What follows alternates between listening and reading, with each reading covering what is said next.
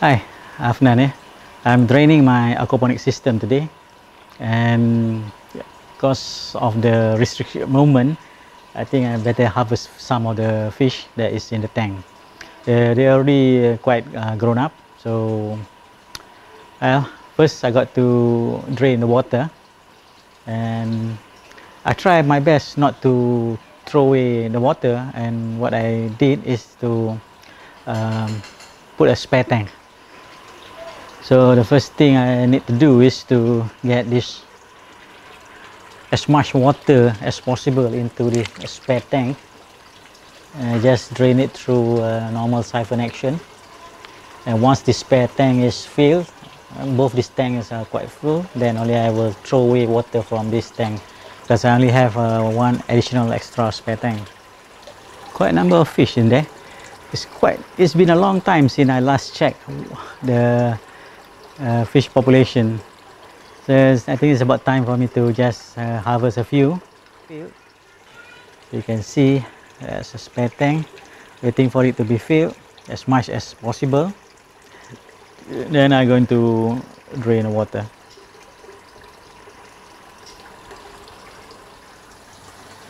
So during this uh, restricted movement due to the COVID-19, well, we got nothing much to do, so might as well uh, take care of our aquaponic system, harvest fish and put it in the freezer.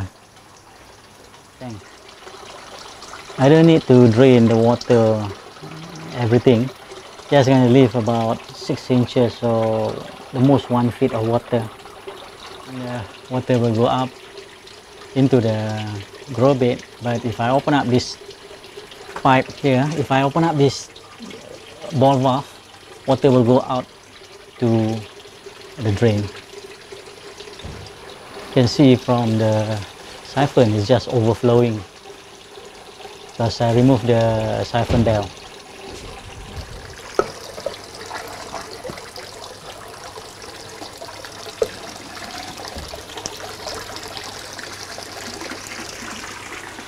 So that's the royal flush.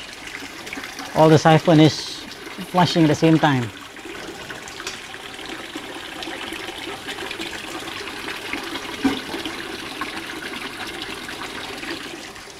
So once I did that flush, what I will do, I switch off the water inlet. Uh, switch off water, switch off the pump, switch off water. Just let it uh, flow out of all the grow bed. Okay, the ball valve is open. I'm going to switch on the pump. Switch on the pump and you can see water coming out.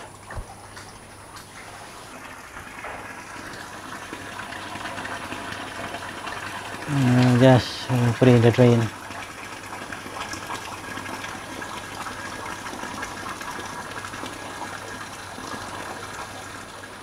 Look at those fish. Right. Gonna catch a few. The bigger one. Uh, what I'm going to do, I'm going to catch the bigger one and put it into the spare tank. From there, I can figure out what next to do. So there's no rush. I think good enough to catch some of the fish.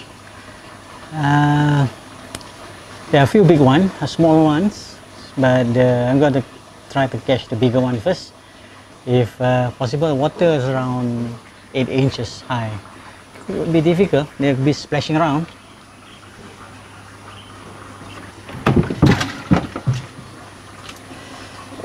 still a lot of water. All right there's uh, let's see what fish is this. Uh, this this patin but still small. This patin is still small but uh, just put it into the uh, let's see that's patin. It's still small but I'm to put it into the uh, spare tank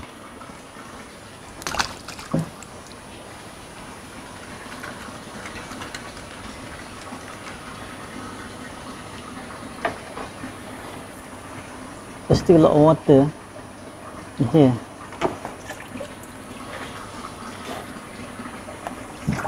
looks like I still have to wait there's another part oops there's another party There's another patin. Okay, there's another patin. It's not big, yeah, but it, it's palatable. But still, not big. Okay, I can see big patin here. It's good for